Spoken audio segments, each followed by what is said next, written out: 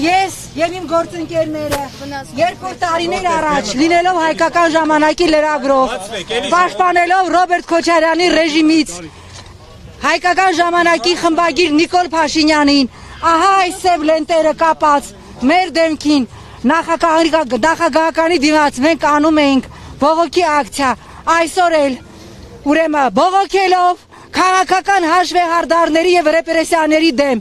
ես եւ իմ գործընկերները պահպանելով սոցիալական հերավորությունը նույն այս սև ժապավեններով փակելով մեր բերանը որը խորհրդանշում է որ մեզ չեք լրացնելու չեք լրացնելու բոլորիս կարող եք գալ ազգային ժողովում զրկել անձերտ մխելիությունից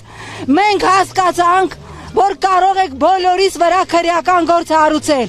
նույնիսկ նրանց վրա, ում ասեք սյուրռեալիստական եւ ֆուտուրիստական է մտածելը քրեական գործ հարուցելը։ Չի ստացվելու, չի անցնելու։ Մենք մնալու ենք այստեղ այնքան, միջև մեր երկրում մենք չհաստատենք օրենքի եւ օրինականության դիկտատուրա։ Միայն օրենքի եւ օրինականության դիկտատուրա։